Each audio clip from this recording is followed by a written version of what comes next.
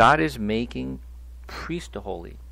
Remember when we were learning about the priest in um, Exodus? What makes the priest holy?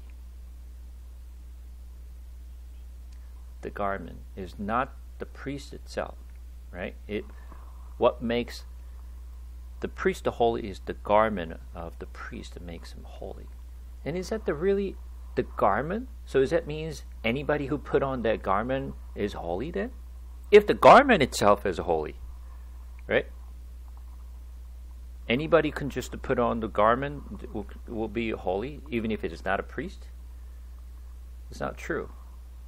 So what really makes the priest holy is, of course, is a garment, but who makes the garment the holy? The God is. God makes the garment holy, and the who put on that garment is holy. So God is the one who keeps saying, I'm the one who is making you holy. Because they're the one who gives the Lord's a food offering. You have to make verse 8 it says, You shall sanctify him, for he offers the bread of your God. He shall be holy to you, for I, the Lord who sanctify you, am holy. So, God is making the priest holy because he's the one who gives a food offering to the Lord. Now continue on verse 10. The priest who is chief among his brother, on whose head the anointing oil is poured and who has been consecrated to wear the garment shall not let the hair of his head hang loose, nor tear his clothes. He shall not go in to any dead bodies, nor make himself unclean, even for his father or for his mother. He shall not go out to uh, out of the sanctuary, lest he profane the sanctuary of his God for the consecration of anointing oil of his God is on him. I am the Lord. He's asking the priest shall not go out of the sanctuary. What does that mean? Is that means the priest must live in the sanctuary, never go out of the sanctuary? He has to stay in sanctuary all the time. You're not allowed to uh, leave the sanctuary. What does that mean? I mean, when we read something like this, like, oh, yeah, whatever, then we pass on. But when you actually think about it, what does that really mean? N- not leaving the sanctuary.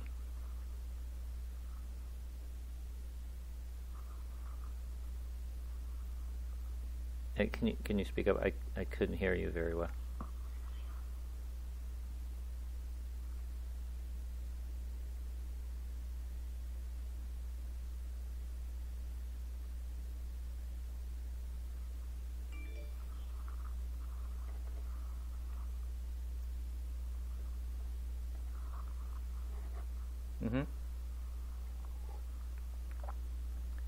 So, this is not a literally telling the priest to stay in sanctuary all the time.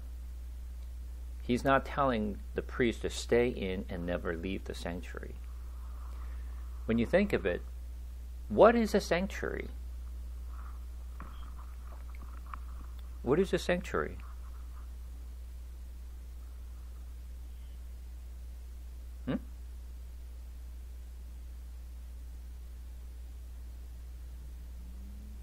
Exactly. The presence of God makes a sanctuary. As I mentioned, tabernacle is nothing more than a place where God resides.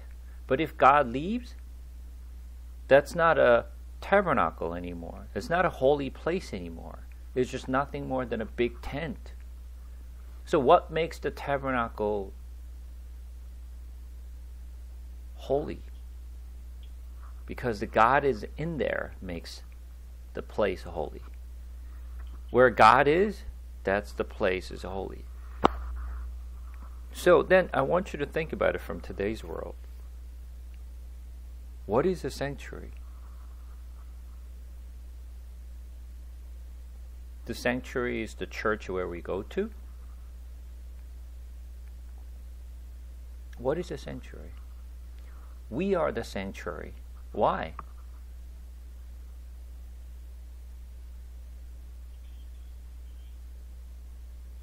Right. The sanctuary is where the God is exist, right? Because the God is in us, we are the sanctuary. Not the building that where we go to is the sanctuary. People call the church building as a sanctuary, is a church. The church is not a building. Sanctuary is not the building or the place. It is the people who are with the Lord as a sanctuary. Right? So then, do not go out of, of the sanctuary. What is that supposed to mean then?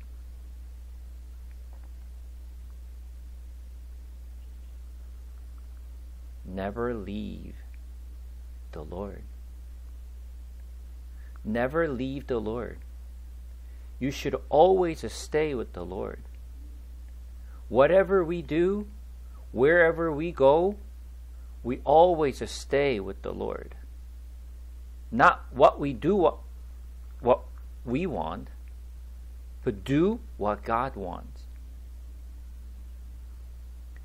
Lest he profane the sanctuary of his God for the consecration of the anointing oil of his God is on him.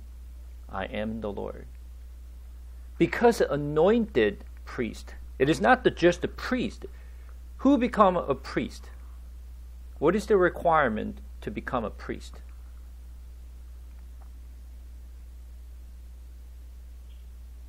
Hmm?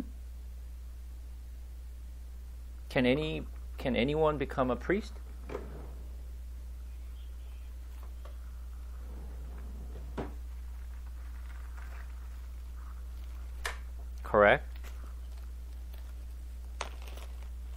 Not everyone could be the priest, right? he has to be a direct sons of Aaron. And then you should not have any cuts or blasphemy in the body.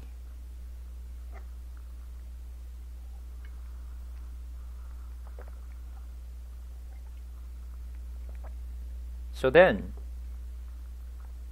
if that's the requirements, just because this person is direct descendants of Aaron could become a priest. They have the requirement to become a priest, but they have to go through the consecration process. They have to be anointed by oil. Even after the sanctuary was designed and created exactly the way that God told them to create, until you anoint every parts of the sanctuary the tabernacle is not called the tabernacle. Not only every articles of the tabernacle has to be anointed, but the priest has to be anointed. If you're not anointed, and if you don't go through the consecration process, you're not a, a priest. Even if you put on a garment, you're still not a, a priest. You have to be anointed. And as I said before, just because we go to church, just because we are attending service, does not make us to be Christians. It does not make us to be the sons of God either.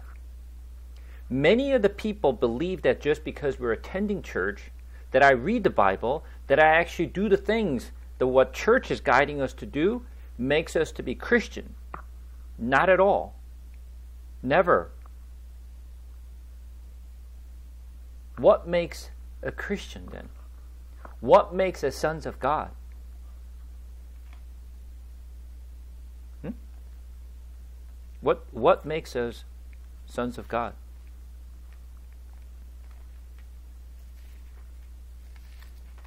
You don't know?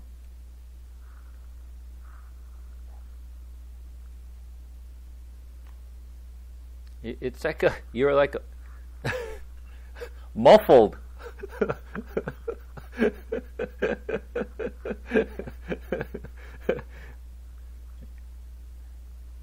Max, you you use uh, you know the headset with the mic, but it seems like it it's like it is coming from like very far distance. Exactly.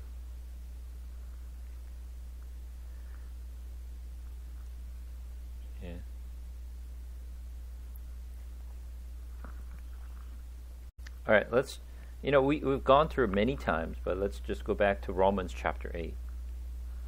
Romans chapter 8.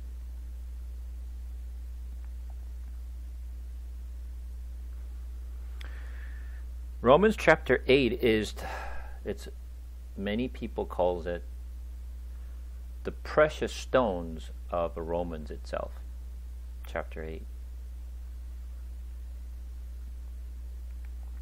We're going to read there is therefore now no condemnation for those who are in Christ Jesus, for the law of the Spirit of life has set you free in Christ Jesus from the law of a sin and death. For God has done what the law, weakened by the flesh, could not do by sending his own Son in the likeness of a sinful flesh and for sin. He condemned the sin in the flesh in order that the righteous requirement of the law might be fulfilled in us, who walk not according to the flesh, but according to the Spirit. For those who live according to the flesh set their mind on the things of the flesh, but those who live according to the Spirit set their minds on the things of the Spirit. For to set the mind on the flesh is death, but to set the mind of on the Spirit is the life and peace. For the mind that is set on the flesh is the hostile to God, for it does not submit to God's law. Indeed, it cannot. Those who are in the flesh cannot please God. You, however, not in the flesh, but in the Spirit. If in fact the Spirit of God dwells in you, anyone who does not have the Spirit of Christ does not belong to him. Wait a second, hold on. What does he say?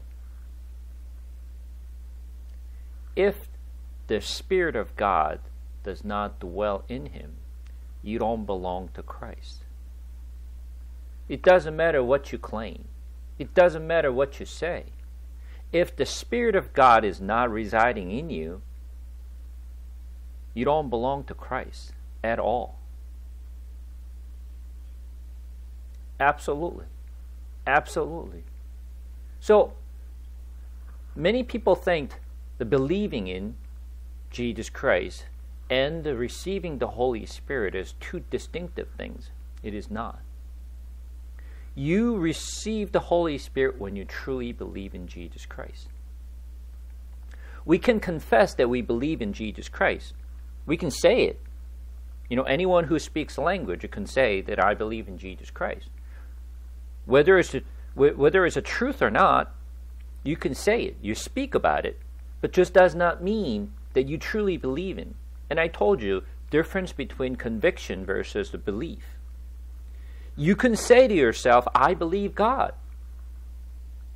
You can say that. Then who acknowledges your own faith? You do. You say, I believe. But who needs to acknowledge your faith? God is, not me. I'm not the one who says, Oh, I believe in you. But God has to acknowledge that I believe. When we believe, what do we receive? Holy Spirit as a gift. In return, we receive the Holy Spirit. This is I this is why I mention Matthew chapter 7 says this. Go to Matthew chapter 7.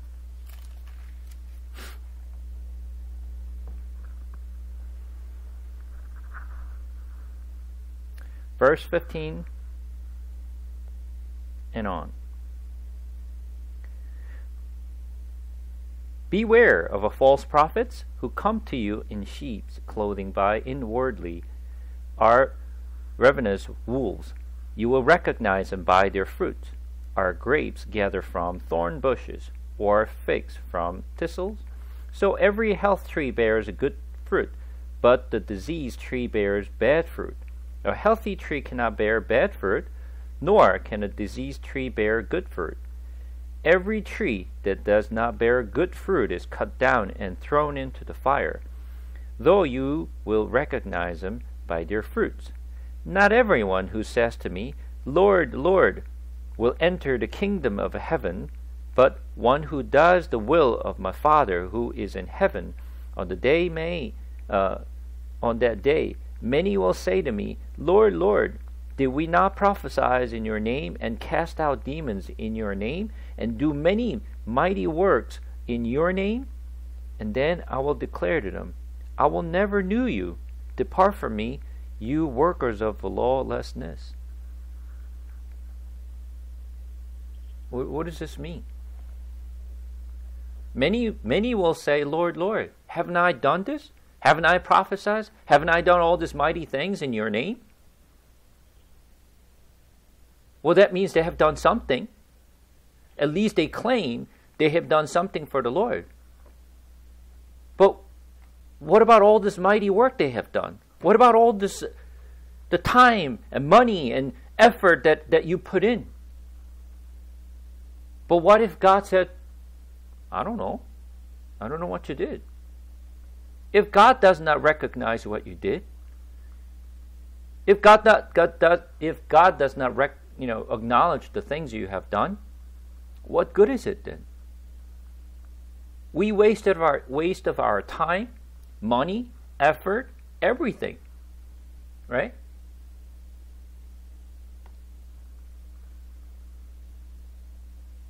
This is something that many of the Christians need to think about. It's not about what I do. It's about what pleases the Lord, whether we actually do it the way that God told us to do. We do it the way God told us to do. Imagine you went to a the barber shop, right? You go, you go to barber shop and you tell the barber and said, "Hey, I want to uh, cut my hairs this way. Uh, you know, cut short here, you know, a little short in the back, but leave the uh, the top a little long so that it lays down." And if the barber comes and said, "You know what? No, no, no, no, no. no that's not how, it's supposed to work. According to your face, you know, I think. Don't worry, I'll take care." And then he cuts it and then when you actually put on the glass, your hair does not come out the way you, you told them to do. You just come out completely different than how you wanted it. Then what would you say? you could get your money back, but you can't get your hair back.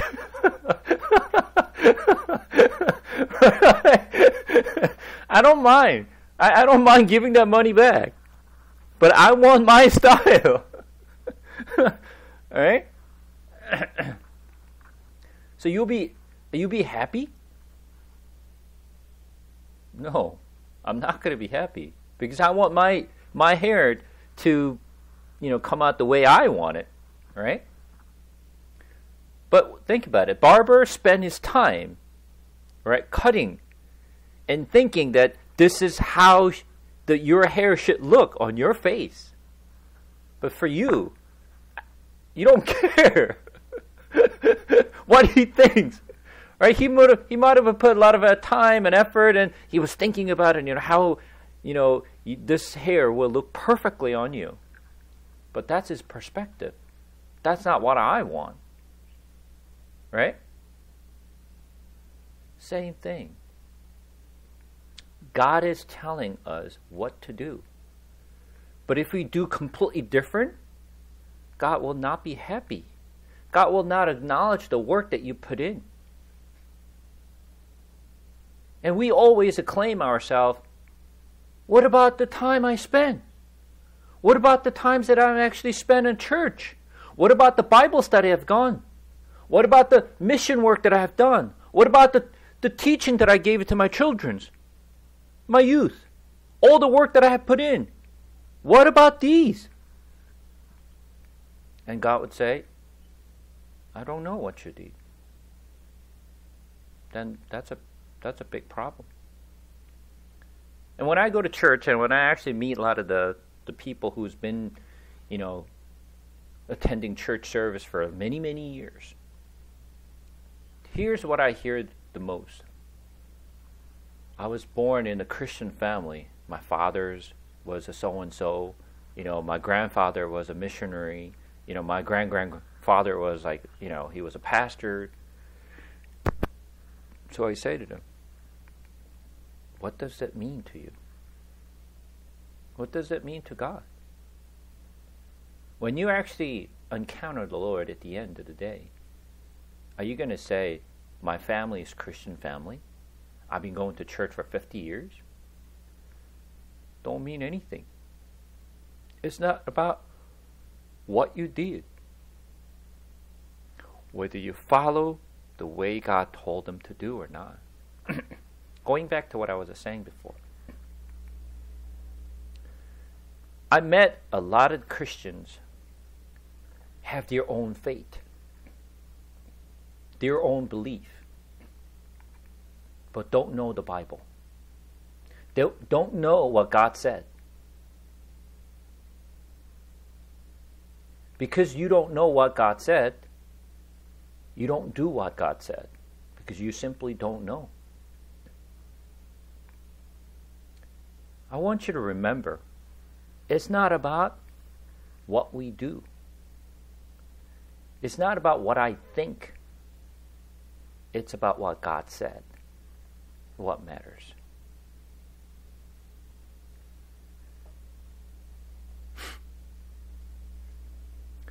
And right after that chapter 7, verse 21 through 23. What's. Huh? What is the the context right after that one? Reading from verse 24. Everyone, Matthew chapter 7, verse 24, everyone then who hears these words of mine and does them will like will be like a wise man who built his house on the rock. And the rain fell, the floods came, and the wind blew, blew and beat on that house, but it did not fail, uh, did not fall, because he had been founded on the rock. And everyone who hears these words of mine and does not do them will be like a foolish man who built his house on the sand. And the rain fell, and the floods came, and the winds blows, blew, blew and beat against the house, and it fell, and great was the fall of it. I want you to connect these together. He mentions about not everyone who calls on his name will not enter into the kingdom of God. Okay? And then the right after he said that, there are two people. One is wise man, there's a foolish man. The wise man is the one who builds the house on the rock, and foolish man is the one who builds the house on the sand. So when you look at it from the house perspective, effort and time and material that you actually use to build a house is equally the same. What makes the difference is the foundation, either on the rock or the sand. So, I, as I mentioned, what makes the difference is just the base of it, not the house itself. House is what you put on. You build a house, you put your time in it. But where do you build your house on is, is what makes the difference. What is the rock versus what is a sand then?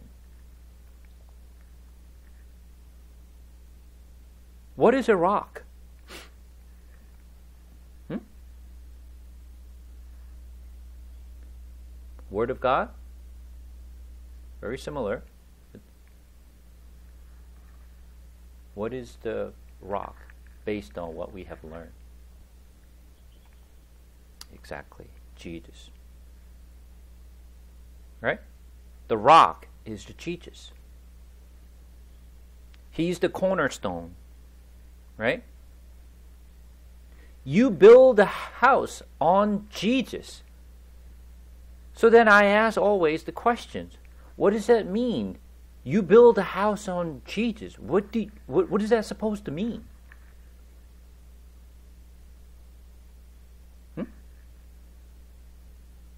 What does that practically mean to mean to us? Build a house on Jesus. What is that supposed to mean? How do we build a house on Jesus?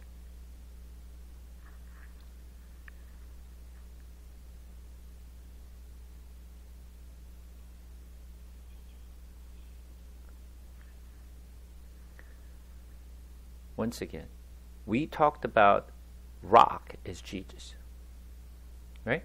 Rock is Jesus. But John chapter 1 says what? I always reference John chapter 1 because John chapter 1 is critically important.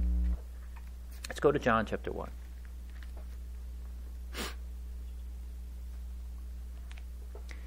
In the beginning was the Word, and the Word was with God, and the Word was God. He was in the beginning with God.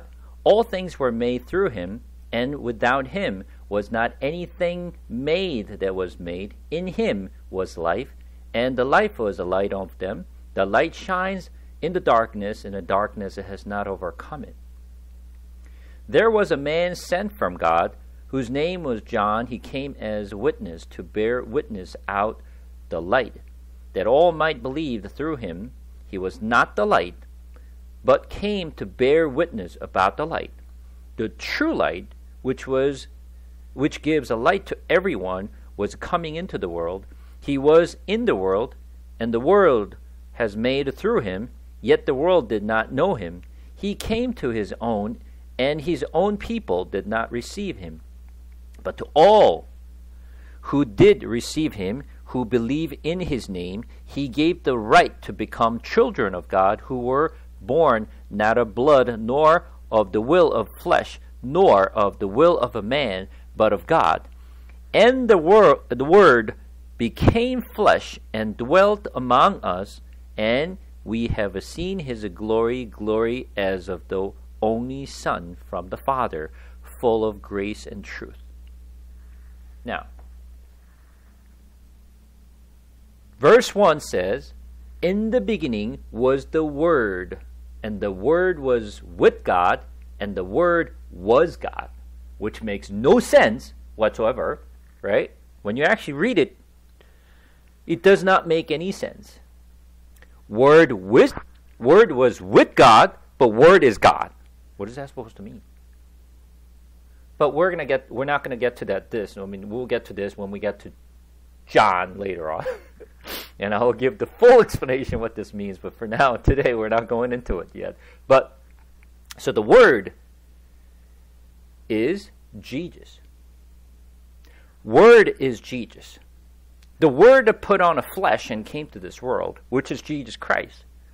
So, the, going back to what I was saying before, Matthew chapter 7, you build a house on Jesus. You build a house on rock. So, you build house on what? on the Word. The Word. What's the Word then? What's the Word? The Word is the Bible. The God's Word. The Bible is the one. So if you don't know the Bible, you cannot say you know Jesus. Because the Word is Jesus. If you don't know the Word, you don't know Jesus. You claim yourself, I know Jesus. I heard about Jesus, but if you don't know the Word, you don't know Jesus. And if you don't know the Word, that means you cannot build your house on the rock.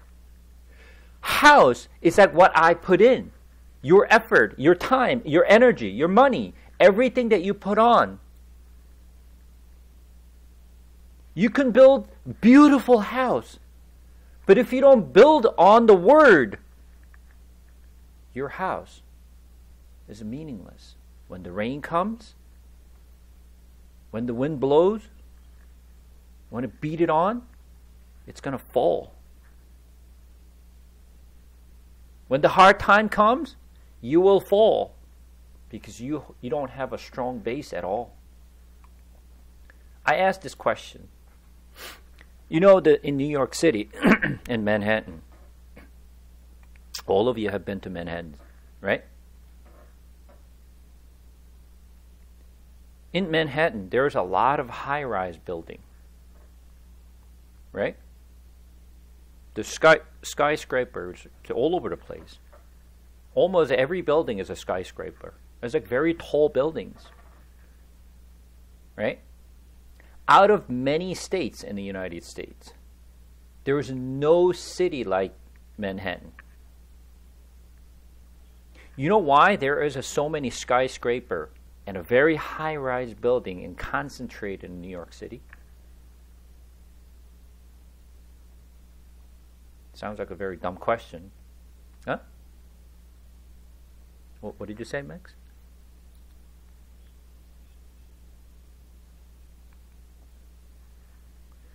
Well, I want you to think about it. Is that because the engineers and the architect could not really don't have a skills in other cities? Is that why there's not many skyscraper in other cities? Certainly not, right? Then why all these skyscrapers are concentrated on Manhattan?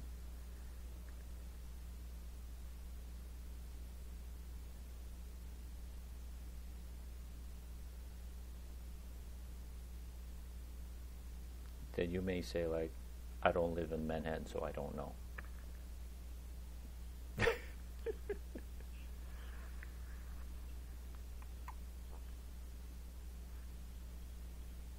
yeah. Manhattan, right underneath, is all rock. It's complete rock. So you can build anywhere in Manhattan. The high rise building anywhere in a New York City, it's possible. Other cities, you are limited to where you can build a skyscraper because the land is not strong enough. When you actually ever been to Seoul, right? There are some tall building but there are not many tall buildings in, in, in Korea. The reason is the foundation is not strong. We don't have a rock everywhere. That's why they cannot build the high rise building. In Manhattan, you can build a high rise building anywhere in New York City, in Manhattan, because it's a, it's a rock. You can build anything. But in other places, you can't. You are limited. You could only build a high, not because they don't have a skill set, not because they don't have engineers, not because they don't have a real good architect. They do have it. They just cannot build because the foundation is not strong enough to support those high rise buildings. By the same token, if you build your faith upon the word that is written in the Bible, your faith stands still if you don't have the word and if you don't have a if you don't build your faith on top of the word, then you're basically put all your effort and time and energy and money and everything else go down the drain very easily. It's going to fall. When the hard time comes, you will struggle. That's the difference between the people who have a nice house but never built the house on rock versus the nice house that was built upon rock. Word is the one who supports you. If you don't know the word, your faith is meaningless. This is why you are learning the word because you want to build your faith upon the Word. If you don't know what God said, how will you be able to follow what God said? You simply don't know.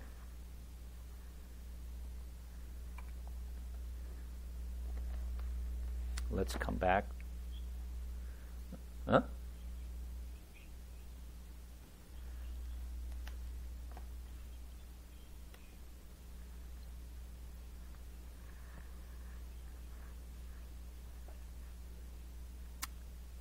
Example will be very simple.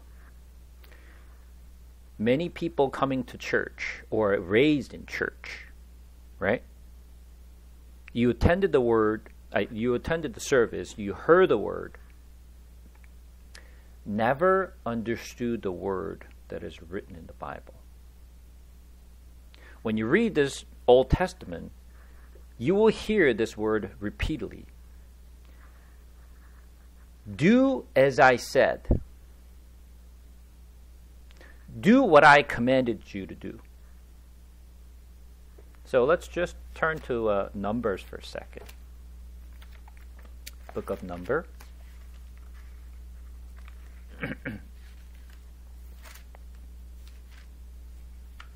let's turn to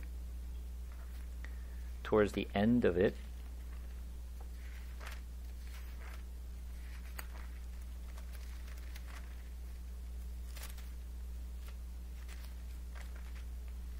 Actually, you know what? Instead of uh, probably Deuteronomy would be better. Let's do uh, Deuteronomy instead of Numbers. Towards the end of it.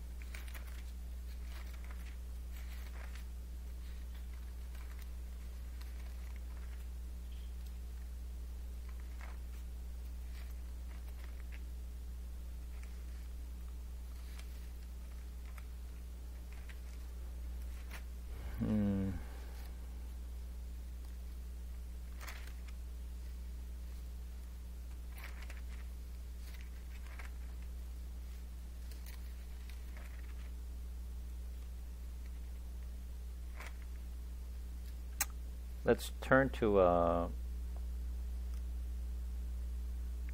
Deuteronomy chapter 27.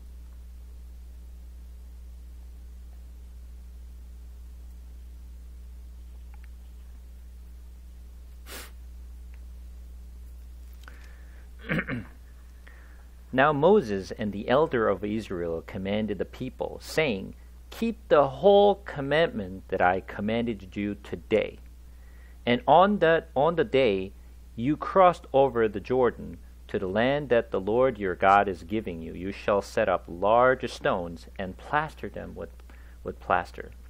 And you shall write on them all the words of this law when you cross over the uh, cross over to enter the land that the Lord your God is giving you, a land flowing with milk and honey, as the Lord, the God of your father, has promised you, and when you have crossed over the Jordan, you shall set up these stones, uh, concerning which I commanded you today on Mount Ebal. You shall plaster them with plaster, and there, and there you shall build an altar to the Lord your, your God, an altar of stones. You shall wield no iron tool on them. You shall build an altar to the Lord your God of uncut stones, and you shall offer burnt offering on it to the Lord your God, and you shall sacrifice peace offerings. Shall uh, you shall eat there, and you shall rejoice before the Lord your God, and you shall write on the stone on the word of the law very plainly. What is he saying? Right before you entered the promised land, God is telling them to put the stones, a big stone, but you know what? You're not supposed to cut that stone. It has to be natural stone. Okay? When, when you look at the verse 6, you shall build an altar to the Lord your God of uncut stones. You're not supposed to cut the stones. It has to be natural stones, but big stones. What is this stone? Is representing Jesus. What do you do on the stone? Huh? What do you do with the stone? Verse 8 You shall write on the stone all the words of the law very plainly. What do you write? What do you write?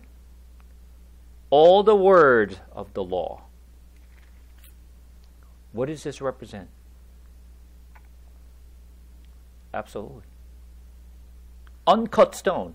The man should not touch these stones. So, verse 5 says, There you shall build an altar to the Lord your God, an altar of stones. You shall wield no iron tool on them. You shall build an altar to the Lord your God of uncut stones. Man should not alter the stone. You should not put any iron on the stone because Jesus, you cannot cut the stone by man's hand. It has to be natural stones, the way it was created. You put on the command of the law. The way I told you to do. Don't do the way you want, do it the way I said. Going back to Max's question, what is examples of it? People who grown up in the church, they believe what they want to believe. Rather than believed based on what God said. They built their, built their own faith. If I do this, God will be happy. This is how I make God happy. Without knowing what God said. What I think or what I believe that I will make my God happy versus what God said could be very different thing. I believe, so I'm saved, versus what God said, we are saved. What I want to believe versus what God said is a two distinctive different thing. Therefore, there are a lot of people in church built their own faith without following the God's words, without receiving the Holy Spirit, without knowing the word. They said, "I'm saved." God, God, this when I do this, God will be happy. And as we said in Matthew chapter 7, you do all this mighty work. You call on my name. You prophesize. But I don't know you. We do it the way God told us to do. We believe the way God told us to believe, not the way I want to believe, not the way I believe.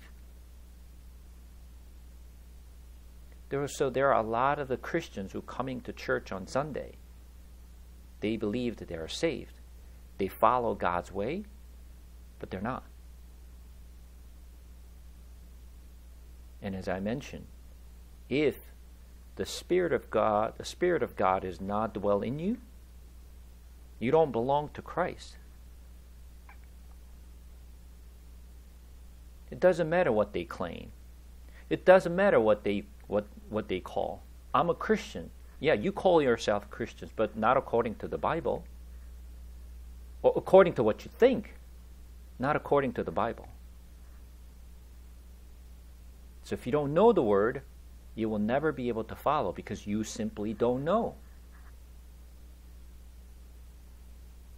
And that's the kind of teachings that I have received when I was growing up in church. That's what I thought was a good faith because I was attending service every week, participating all this church activity. I thought I was a good Christian, a faithful Christian, because I do all this compared to other people outside the church. But that don't mean anything. Just because you were actually involved in a church activity, just just because you attended the service, because you actually participated in you know praise team, don't mean anything.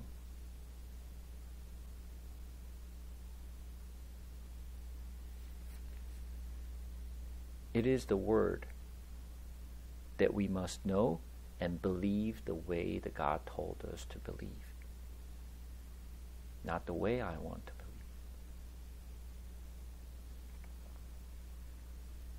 Does that answer your questions or still unclear? Okay. Many of the people I have met that said, I read the Bible. Okay? Reading the Bible. I read it twice, three times, five times, ten times, fifteen times. You know? I'll give you one example. I said, you know, I have uh, the music sheet. Okay? I have a music sheet. I sang it 10 times, 20 times, 30 times. I can memorize all this lyric and I can sing the song. But you know what? I don't know how to read this uh, the sheet. I don't know how to how to read sheet. I just remembered the melody, so I I could sing. But when I actually look at the sheet, I'm not reading the sheet because I don't know how to read this sheet. Right? Isn't there so many people like me? There's a music sheet in front of them, but they just can't read the sheet because they never learned how to actually read the sheet. Right?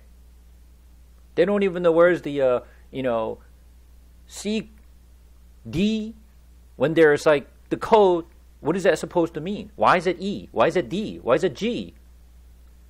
They don't understand. They just know the melody, that's all. Just because I sang it 10 times and 100 times, just because I know the melody, does not make me to know what the sh- how to read the sheet. Right? You have to learn how to read the music. You have to learn to how to read the music. Same thing. Just because you can sing does not mean you can read the sheet. Same thing. Just because you read the Bible does not mean you understand what you're reading. You just read it because you've been told to read the Bible. But without understanding what you're reading, just because you read it 10 times doesn't mean you know what God is saying. This is why you have to learn how to read the Bible. This is how you should learn how to read music. You can literally you can literally actually play the music without reading the sheet. If you remember the chord, C, okay, C chord, all right, G chord, right, you can press the, the, the keyboard. You can play music, but you don't know how to read the music, then you can't go far. You can't be creative. Same thing. You heard so many sermons, you have attended so many Bible study. So you know pieces here left and right, but you don't understand what that really means. That's not really helpful to me to build a faith. You interpret it the way you want to interpret it rather than how it is originally meant to meant to say. That is not a belief. That is not a faith. You don't do it the way we want. We do it the way God told us to do, following His way.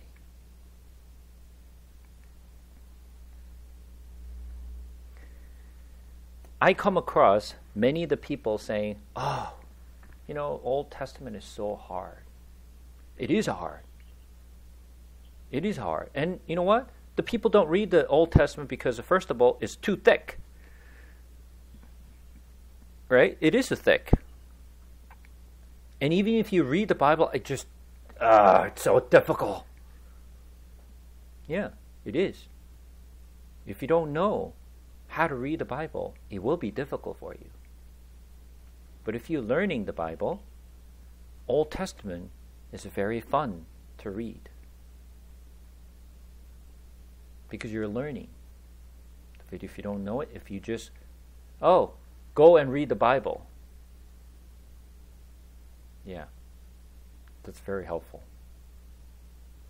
It's like this you're giving the music sheet. Hey, here's the sheet, read it. But you don't know how to read. Then how are you going to read the, read the music sheet if you don't know how to read music? You have to learn how to read music, and then you can read the music. This is exactly why we're learning this word. How to read the word. What does this mean?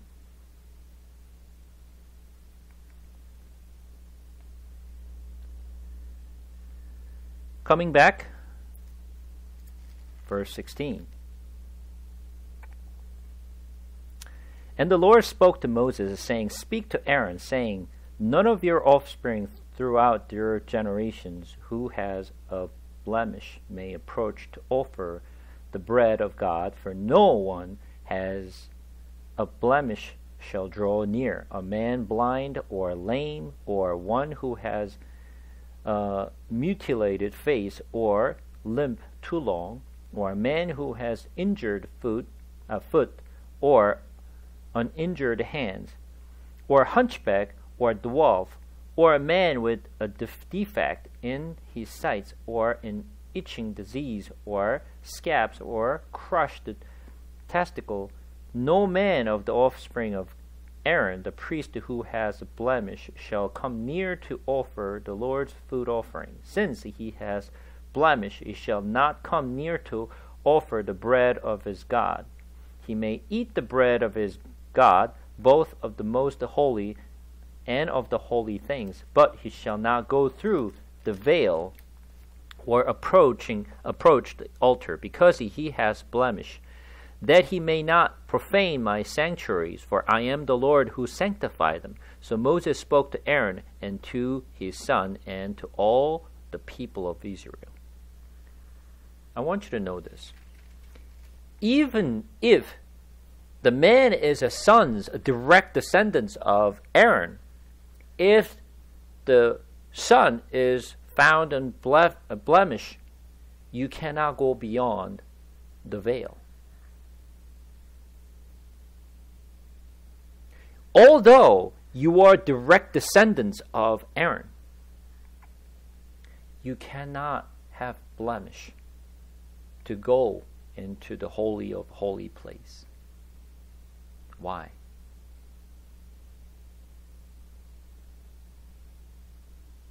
What does it really tell you?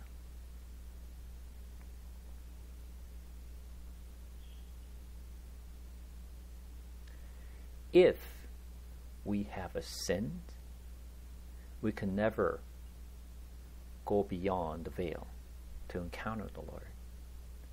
Only way that we can go into the Holy of Holy place, should not have blemish, sinless.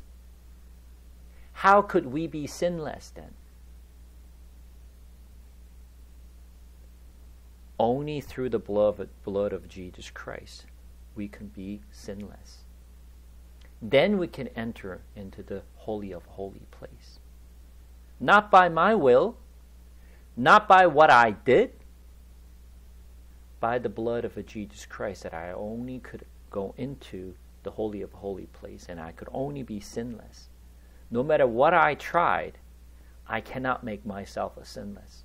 No one can make me to be sinless, but only through the blood of Jesus Christ. He's the, he's, he's the only one who can make us to be sinless.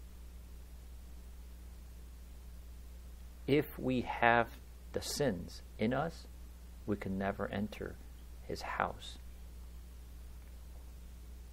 Just because we are called to be Christian does not make us to go into the holy of holy place. Even if it's the sons of Aaron, you cannot enter the holy of holy place until you are blameless.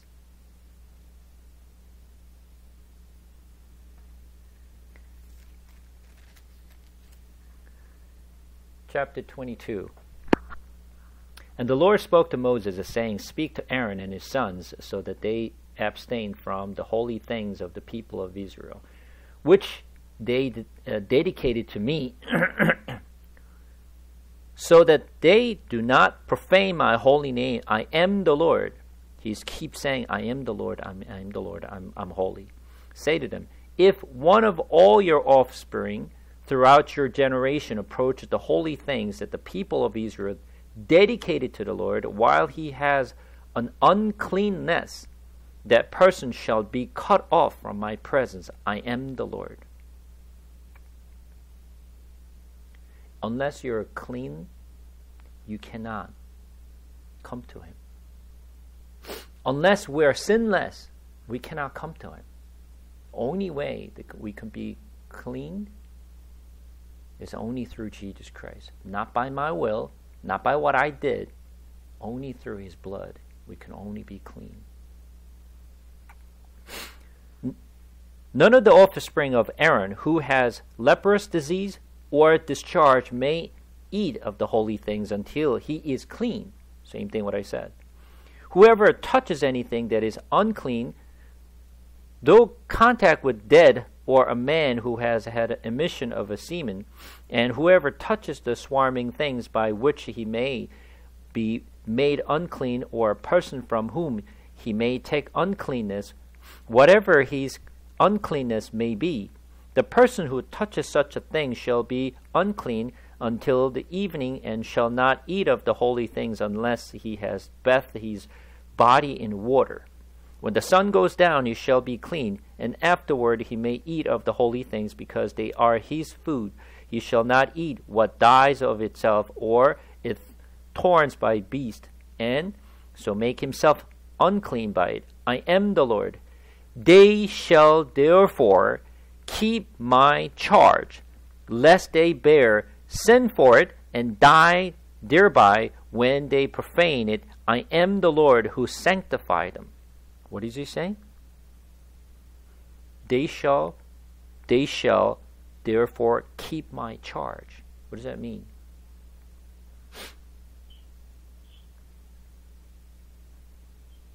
Exactly. Keep his instruction. Not what I not what I want to do. Keep what he said to.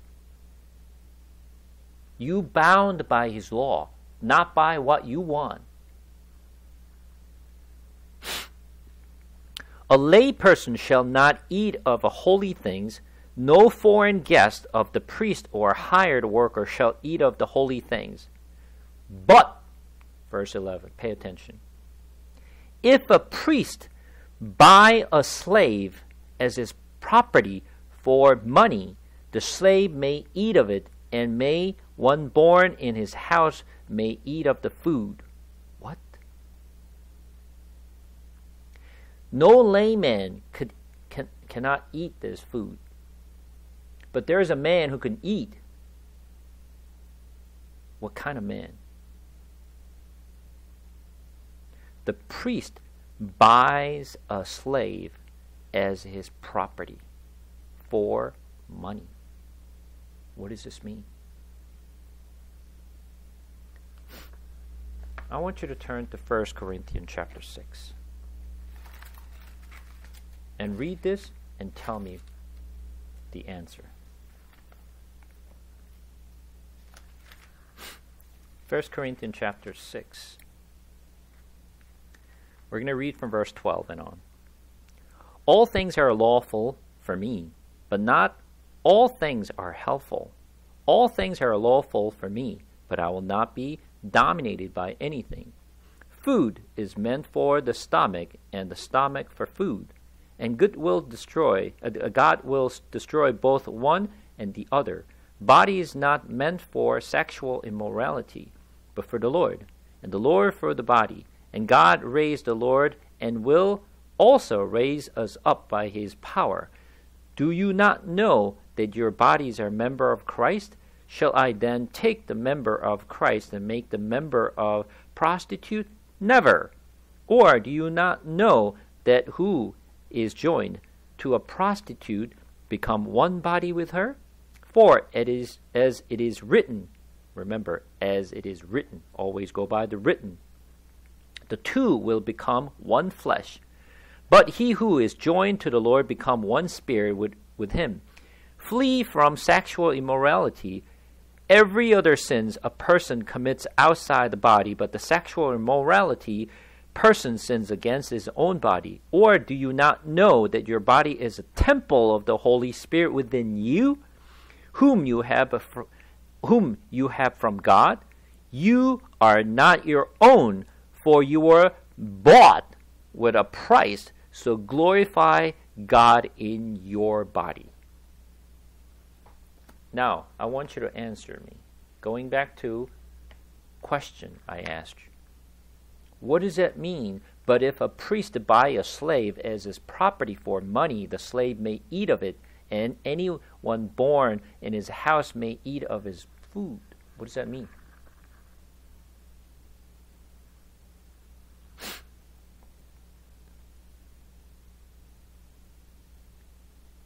Jesus paid his price to buy me with his blood.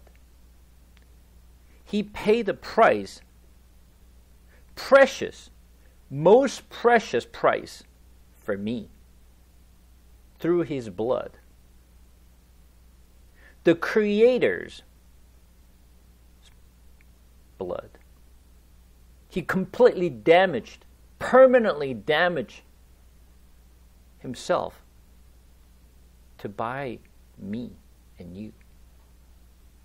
So then, I'm, I am the slave that Jesus paid the price to buy me so that I can eat the holy food. Do you understand? I'm not supposed to be. But he paid the price to buy me I am the slave. I'm not worthy. But he paid the price so that I can eat the food of God.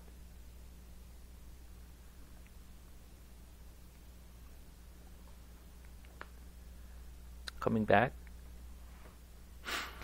If a priest daughter marries a layman, she shall not eat of the contribution of the holy things, but if a priest daughter is a widow or divorced, and has no child, and returns to her father's house, as in her youth, she may eat of her father's food, yet no lay person shall eat of it. No lay person should eat of it. You have to be bought, or you have to be born in, in his house to eat the holy food. And if anyone eats of a holy thing unintentionally, he shall add the fifth of its value to it and give the holy things to the priest. What is it? If anyone eats of a holy thing unintentionally, he shall add the fifth of the fifth of its value to it. Fifth. What is a fifth? Grace. They shall not profane the holy things of the people of Israel, which they con- con- contribute to the Lord and so cause them to bear iniquity and guilt by eating their holy things. For I am the Lord who sanctif- uh, sac- uh, sanctifies them. And the Lord spoke to Moses, saying, Speak to Aaron and his sons, all the people of Israel, say to them, When any one of the house of Israel or of the sojourner in Israel presents a burnt offering as his offering, for any of their vows and freewill offering that they offer to the Lord, if it is to be accepted for you, it shall be a male without blemish, or the bulls, or the sheep, or the goats. You shall not offer anything that has a blemish, for it will not be acceptable to you. And when anyone offers sacrifice, a peace offering to the Lord, to fulfill a vow, or as a freewill offering from the herd or from the flock, to be accepted, it must be perfect. There shall be no blemish in it once again. How could we be sinless? Only through the blood of Jesus Christ. We could only be clean. Then we'll be offered to the Lord. If it is not, then we can never offer ourselves to the Lord. Animals blind or disabled or mutilated or having a discharge or an itch or scabs you shall not offer to the Lord or given them to the Lord as a food offering on the altar. Once again, if we have a sins in any shape or form, we can never be offered to the Lord. God will not accept it. You may present a bull or a lamb that has a part too long or too short for a freewill offering, but for a vow offering it cannot be accepted. Any animal that has its testicle bruised or crushed or torn or cut you shall not be uh, shall not offer to the Lord. You shall not do it within your hand. Neither shall you offer as the bread of your God as a such animal gotten from a foreigner, since there is a blemish in them because of their mutilations, they will not be accepted for you. You could offer it, you can give it with the blemish, but you know what? God will not accept it. Then you may say, But I gave it.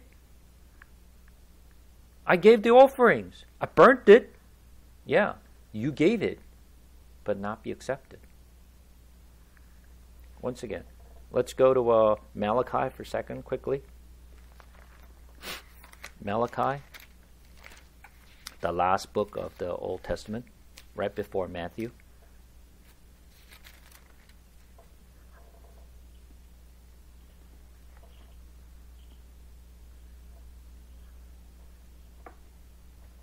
Chapter 1. A son, verse uh, chapter 1, verse 6. A son honors his father, and a servant his master. If then I am a father, where is my honor? And if I am a master, where is my fear? Says the Lord of hosts to you. O priest, who despise my name, but you say, How have we despised your name? By offering polluted food upon my altar. But you say, How have we polluted you? By saying that the Lord Lord's table may be despised. When you offer blind animals in sacrifice, is that not evil? And when you offer those that are lame or sick, is that not evil? Present that to your governor. Will he accept you or show you a favor? Says the Lord of hosts, and not entreat the favor of God, that you may be gracious to us. With such a gift from your hand, will he show favor to you, to any of you? Says the Lord of hosts. Oh, that there were one among you who would shut the door, that you might not kindle fire on my altar in vain. I have no pleasure in you, says the Lord of hosts, and I will not accept offering from your hands. For from the uh, rising of the sun to its setting, my name will be great among the nations, and in every place incense will be offered to my name, and pure offering, for my name will be great among the nations, says the Lord of hosts. But you profaned it when you say that the Lord's table is polluted, and its fruit, that is, its food may be despised. But you say, What a weary a weariness that is, and you snort at it, says the Lord of hosts. You bring what has been taken by violence, or the lame or sick, and this you bring as your your off, offerings, shall I shall I accept that from your hand? says the Lord. Cursed be the cheat who has the male in his flock and vows it, and yet sacrifice to the Lord what is blemished. For I am a great king, says the Lord of hosts, and my name will be fear among the nations. They brought all this lame blemished, blind. They burnt it. And they said, When did we despise you? What do you mean? I gave the animals as you told me to just give as offering. I burnt it. But what is God saying? I never received it. And then on top of it, I'm sick and tired of you, your offering. I want someone to close the door so no one can come in with this blemish things. I'd rather not see it. Don't do it. I'm sick and tired of what you do. You don't fear me. You don't have a heart for me. But they say, What do you mean? I brought the animal, I burned it, I spent money. I burnt it. I gone through this this you know offering to you. But God takes no pleasure. That's what I've been keep saying. Just because you've been going to church for all your life, just because you participated in all this activity in the church, just because you went to a mission field, just because you taught someone, just because you gave the offering, don't mean anything if you have no heart for the Lord. If you don't have a contrite heart, if you don't tear your heart, what you did is meaningless to the Lord. I never received it.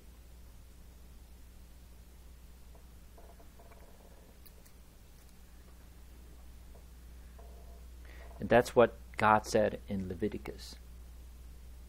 But that's not what people did. They did what they think is right, not what God said. Coming back to Leviticus chapter 22 again.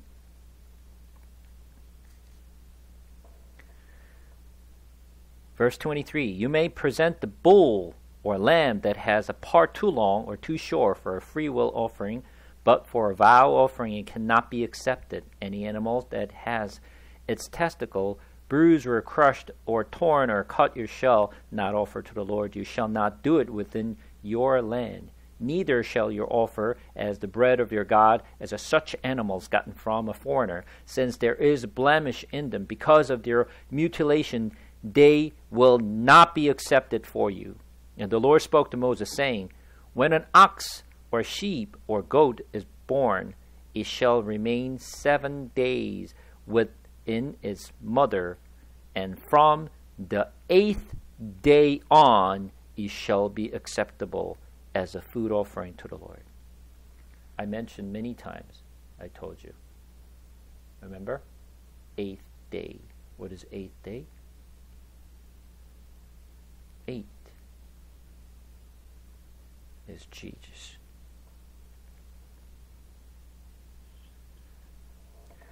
But you shall not kill an ox or a sheep and her young in one day. And when you sacrifice a sacrifice, a thanksgiving to the Lord, you shall sacrifice sacrifice it so that you may be accepted.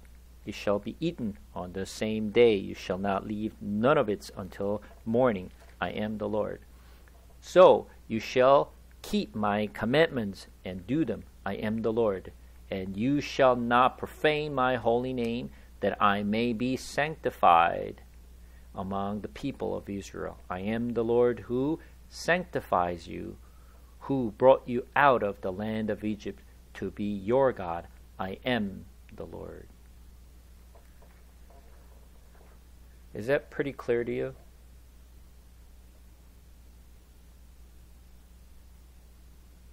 It's not about what you think. Do it the way God told us to do. Know the God's words in order for you to do what God wants us to do. Do it the way He said, not the way I want, not the way I think. Build your faith upon rock. Build your faith upon Jesus. Build your faith upon the word God told us. I'll give you one thing. First Corinthians again.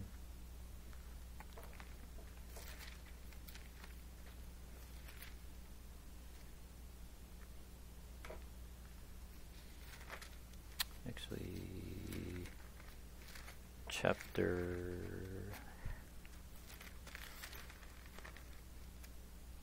Chapter 4. First Corinthians chapter 4. I have said many times this. 1 Corinthians chapter 4 verse 6 I have applied all these things to myself and Apollos for your benefit, brother, that you may learn by us not to go beyond what is written. Not to go beyond what is written.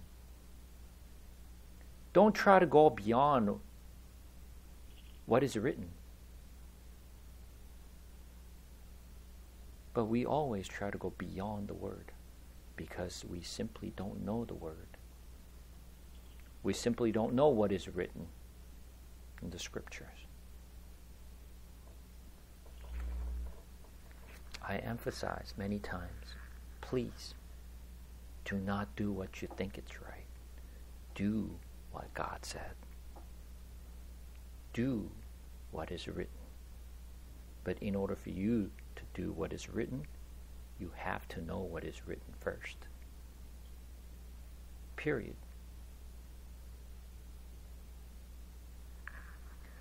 Or up to this point.